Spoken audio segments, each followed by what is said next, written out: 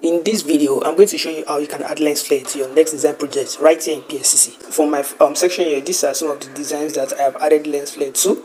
And let me just quickly show you this. Just take a look at the design very well and you can see, see that, see that and see that. So that is that on that and um, let me just show you how you can add your own lens flare to your next design project. So the first thing you want to do is as soon as you're on the front page, you need to import the design which you want to use. So I'll click on the plus icon, this first icon here. I'll click on photo library and um, I'll look for the design wherever it is. Mine is in PixelLab. I'm not sure if this is PixelLab. I'll just look for my design real quick. So this is my design here. I'll click on my design and I'll click on add. So this is the design here and um, the next thing I need to do is to click on the icon down here. Once I click on it, I want to import the next flare now. I'll click on the plus icon.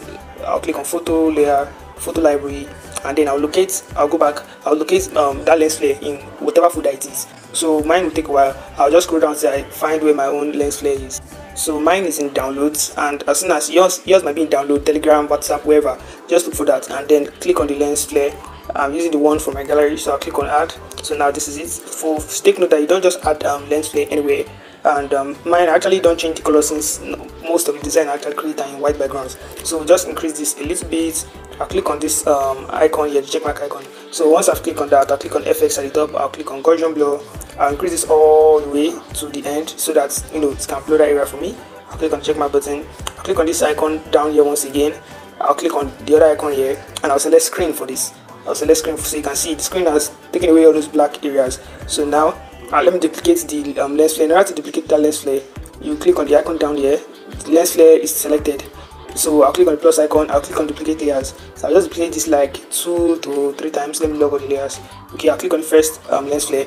I'll click on the icon at the top. I'll click on transform so once I click on transform now you can see you can move this lens flare wherever I want. So normally when using this lens flare it shouldn't be on the image itself. Just like it should be touching the subject touching the image a little bit. So you can do that by increasing the size. So you can see I'm increasing size and I'm pushing it away from the image. So now normally I, I use my own lens flares I position it near the image and I sometimes I use it um, near my text. So I think this is okay. It's touching um, anyway you want to put this as long as it's not touching the main image itself just the side of the image click on the checkmark icon. If you're okay with that let me select the next one. I mean let me enable the layer for the next one. I'll go back to the top here click on the hand section click on transform again. So i can move this. Like i said i use mine in text area right? So i can increase the size. Then that's why you can see from some of my designs you can see that i've seen that sometimes um, some part of the design close these are actually good so i'll just increase the size. Let's not touch the text to let the flare um, edges just be touching the text edge and whatever um, part you want to use. So where is um okay the third one is here. It's not most um, you use all three or depending on how many times you duplicated it. But uh, if you're not okay sometimes I just increase the overall size and I place it in the background itself. Let me just place it maybe near here. You can see this one is okay. It's not really showing but I think it's actually um, okay. So this is it for that. So in case you're working with um, a different background entirely in case you're working with a different background entirely all you need to do is to select any lens flare that you want to change the color. Click on this icon at the top here and you can see all these options which you have here. So you can use the curve uh, just the same, the same way you use curve in Lightroom and Snapseed. Is use the curve. The blue selected. So you can see yes this is it but all you need to do is readjust this to your own taste.